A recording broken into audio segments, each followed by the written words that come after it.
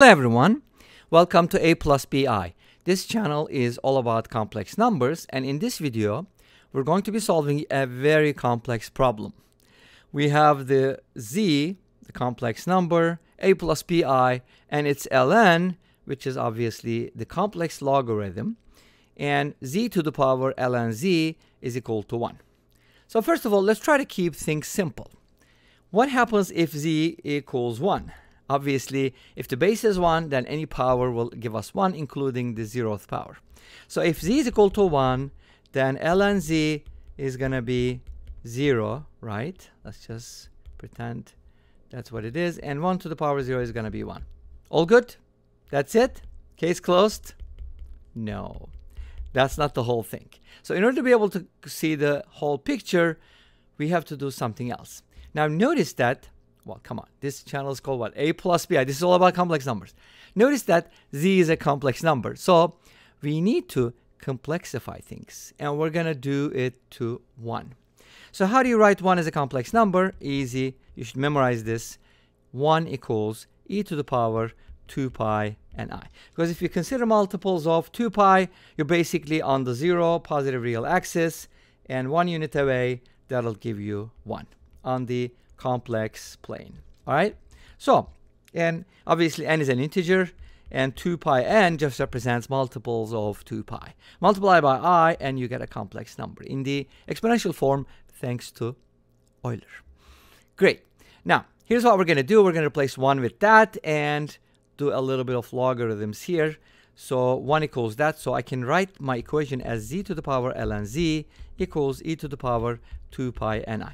Now, do, we, do I have to use a generic integer like n? Can I just not use 2 pi i? Yes, but that would just be the a particular solution. Obviously, there's going to be infinitely many solutions. All right? So, let's go ahead and take a look at how we can solve this problem. There's a couple different things you can do. Uh, here's what I want to do. Whenever you have something like t, you can write it as e to the power ln t. And I think this is also true for complex number, isn't it? Correct me if I'm wrong.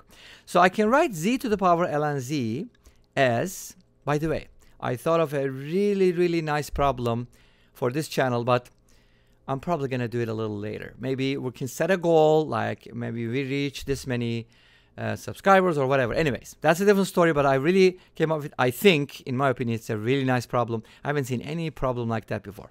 Anyways, so a little commercial break. So we're going to go ahead and write the z to the power ln z as e to the power, now be careful about this, ln z to the ln z. Makes sense? So this guy here is this guy. I mean, not that whole thing. Sorry about that. I got to fix it. Okay, here's where I should box it. So this guy comes from here. So e to the power ln something equals something. Okay? So this is equal to e to the power 2 pi n i. Now I have the e's, so we're all good, right? Let's go ahead and set them equal to each other. Now you might be questioning like, are we considering all the branches because you're just setting the exponential? Is that it? Yes, because we're using an integer n, so this should consider all the solutions. Okay? Now this gives us ln z to the ln z, which is better than z to the ln z, trust me, equals 2 pi and i. Great. Now, this is much better because we can now move the ln z to the front, bring it down, and that's going to give me ln z times ln z, which is super duper nice, equals 2 pi and i. Great. Now, ln z times ln z is ln z squared, right? And then I get this. Okay, great. How do you solve for ln z? Easy. Just square root both sides but remember, i has two square roots. So with the two square roots that are coming from the left-hand side, there's going to be a total of 4. But guess what? There is much more than that because of n, right? n is the key here. So we can go ahead and write ln z, one of the solutions at least, as ln z equals the square root of 2 pi ni. Who would like to square root this number? This is imaginary, so it should be easy, right? If n is positive, this number is going to be on the positive imaginary axis. Is there a positive imaginary axis? I mean this one. It's going to be here. If n is less than 0, it's going to be here. Wait a minute. Can you square root a negative number? Of course. We're square rooting i. What are you talking about, right? We're doing complex numbers. Come on. You can square root anything. So, depending on the value of n, we're going to be in different uh, places. I couldn't find a better word. So, but yeah, I don't want to square root this. I want to make it easier. So how do I make it easier? I can separate at 2i and n pi. Uh, I just want to write it as n pi because it just is bugging me. n pi is a multiple of pi. Multiply by the square root of 2i. Of course, this is this could be problematic. You're dealing with complex numbers, but don't worry. We're going to consider all the square roots. Why is this important and why is this helpful?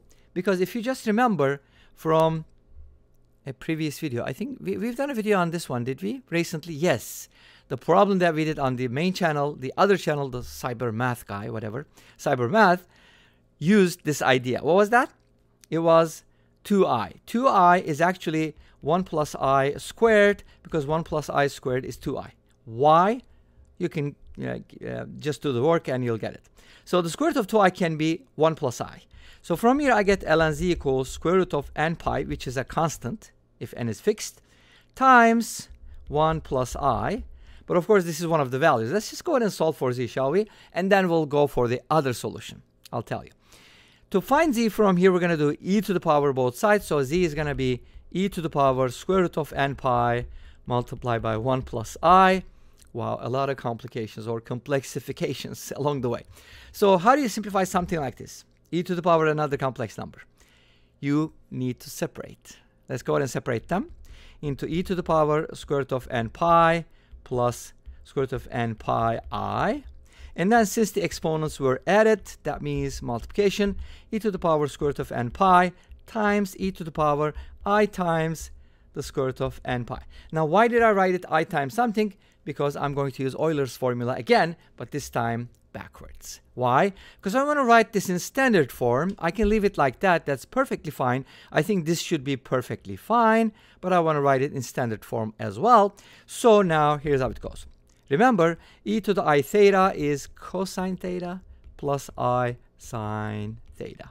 Using that idea, we can actually write this as e to the power square root of n pi, which is the modulus, times cosine of square root of n pi plus i sine.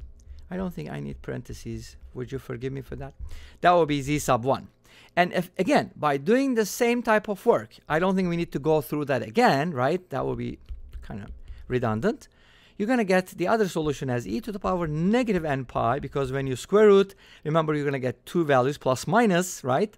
And then this is going to be the same thing, but inside, of course, you're going to have negative square root of that. So I might need parentheses here, right? Let's use them.